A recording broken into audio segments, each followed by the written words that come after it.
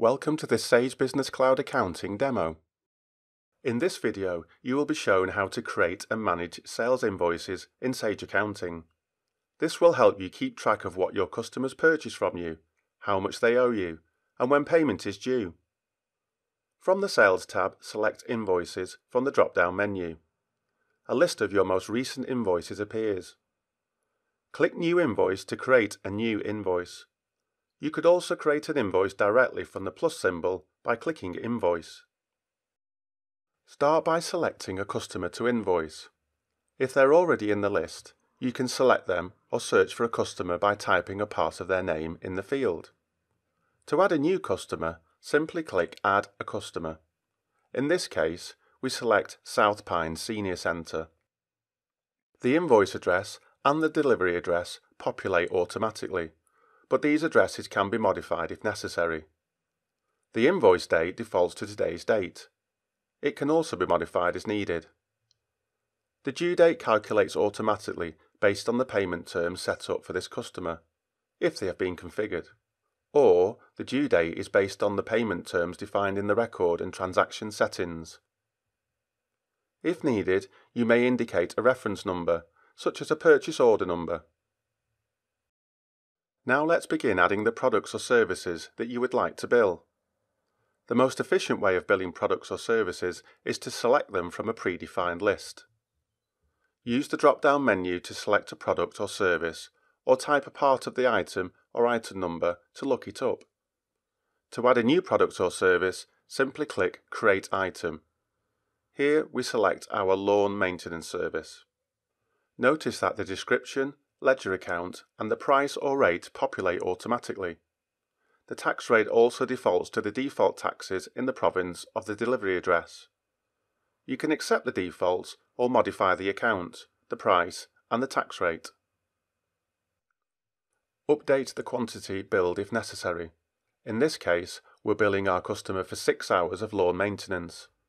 A discount can be entered if needed, either as an amount or as a percentage. Let's grant this customer a 5% discount. Note that the discount column will only appear on the printed or emailed invoice if it is used.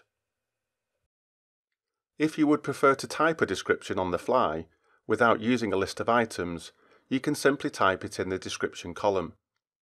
Let's quickly add a second line for a stump removal.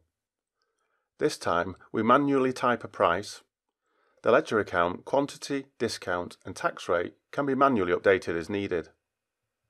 The default notes will appear, as well as the terms and conditions, unless custom terms and conditions were set up in the individual record. Both fields can be modified as needed.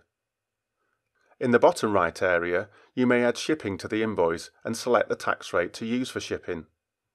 Totals appear, including the discount, amount before tax, tax amount, and the invoice total. At this point, we have several options to choose from.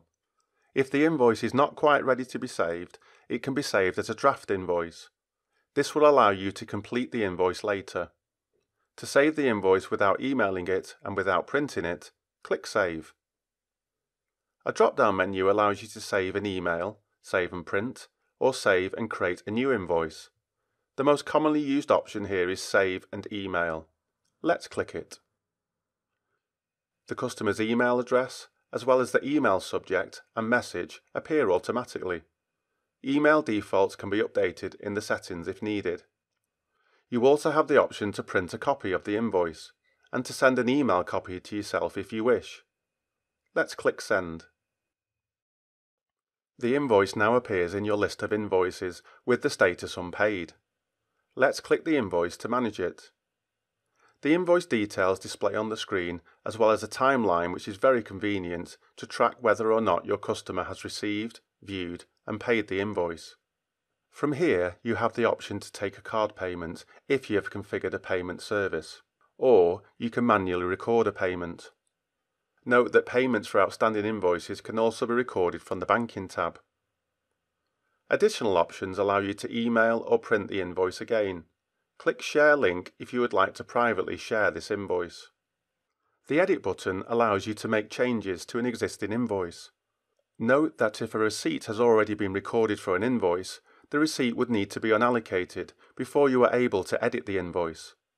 This is only possible if the payment has not been reconciled yet. Click Copy if you would like to create a new identical invoice. Before saving the new invoice, you will be able to make changes to any of the fields. It is very convenient if you have recurring types of invoices or if several of your invoices are similar. The Add Credit Note option can be used in case of a return from your customer or to offer a partial or full credit for this invoice. Finally, you also have options to download a PDF copy of the invoice, to print a packing slip, and even to void the invoice if it was created by mistake. Congratulations!